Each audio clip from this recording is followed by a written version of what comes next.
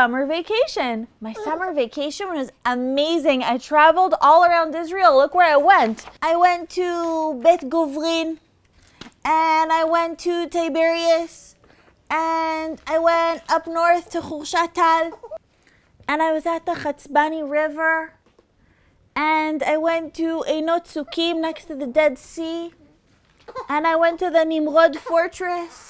What I get done in one hour of the summer vacation, I don't learn the whole year in school. Well, I guess you're right, because things you can learn in nature and outdoors, in a historical monument, in nature, are really things you can't learn in class. But I'm sure you have some kind of advantage also now in the school year, during the school year in class. You must be learning something. I mean, look at all these new beautiful books you got. I know. I love my biology book and and also the Gemara stories and we're learning math and and I, I just I love what we're learning in class. It's so interesting. My science book is one of my favorite subjects. You know what, Sarah? If I had to get all the information that I was learning in class on my own that my teacher prepares for me, I would never be able to do that. It would take me my whole summer vacation just to find all the information for geography, for example, or math. You know, one hour of school in class is worth my whole summer vacation. So, what's better, summer vacation or school? They're both so different, but so worth it. You know what it reminds me of?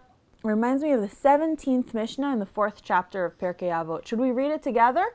It's the continuation of what Reb Yaakov said last chapter. We read last chapter in the 16th Mishnah and the fourth chapter of Pirkei Avot, the beginning of his words of wisdom, and now we're going to read the next Mishnah that's also by him. Do you want to read? Yeah, I love reading. He, Rabbi Yaakov, would also say, one hour of teshuva and good deeds in this world is better than the whole entire life in the world to come. But one hour of pure spiritual happiness we will have in the world to come is better than our whole life in this world.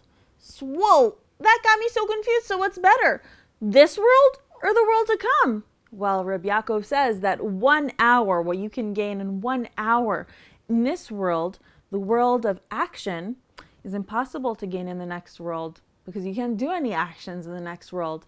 But the bliss we're going to have in the next world when we understand the meaning of the good deeds we did in this world just one hour there of understanding and joy is worth our whole life in this world. So I'm still confused. What's better, this world or the world to come? Neither of them are better than the other. They're different, just like summer vacation and the school year. You gain so much in both, and they both have their own advantages. I think what Rabbi Yaakov is trying to teach us that if you're a Jew, it doesn't matter what stage in life you're in, you're always having a great time. If you're in this world, you can get to do good deeds and learn Torah and do tshuva. And in the next world, you get to enjoy and understand the meaning of the deeds you did in this world. So you're always having fun. Just like I was always having fun.